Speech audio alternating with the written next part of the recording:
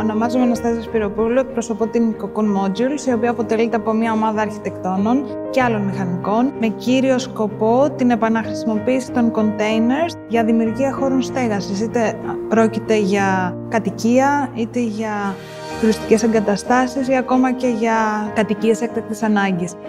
Φανταστείτε να μπορούσατε να κουβαλήσετε το σπίτι σας όπου θέλετε. Δηλαδή να μπορούσατε να δουλεύετε από όποιο μέρος του κόσμου θέλετε και να κατοικήσετε σε όποιο μέρος του κόσμου θέλετε. Ο χρήστης επωφελείται επίσης από το κόστος, το χαμηλό κόστος κατασκευής, αλλά και από τον χρόνο, όπου έχουμε ένα πολύ μικρό χρόνο κατασκευής. Το συγκεκριμένο container θα χρησιμοποιηθεί ως ε, πρώτη ύλη για το πρωτότυπο που θα κατασκευαστεί μέσα στον Ιανουάριο θα αποτελείται από υπνοδωμάτιο, κουζίνα, καθιστικό χώρο φαγητού, θα έχει μια μικρή αποθήκη και ένα μπάνιο.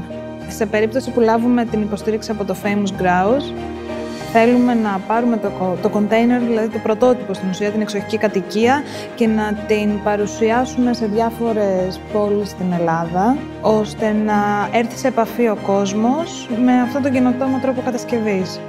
Η καινοτομία μας βασίζεται επίσης σε έναν κάναβο τον οποίο έχουμε αναπτύξει, όπου μας ε, διευκολύνει να αναπτύσσουμε τις μονάδες προς κάθε κατεύθυνση. Το χαρακτηριστικό του Famous Grass που μας ενέπνευσε είναι η αφοσίωση. Στην ομάδα μας έχουμε διαφορετικούς ανθρώπους, οι οποίοι ε, πρέπει να συντονιστούν ώστε να φέρουμε εις πέρας όλο αυτό το έργο, το οποίο είναι αρκετά καινοτόμο για όλους μας και θέλει πραγματικά πολύ πίστη και δύναμη για να το ολοκληρώσουμε.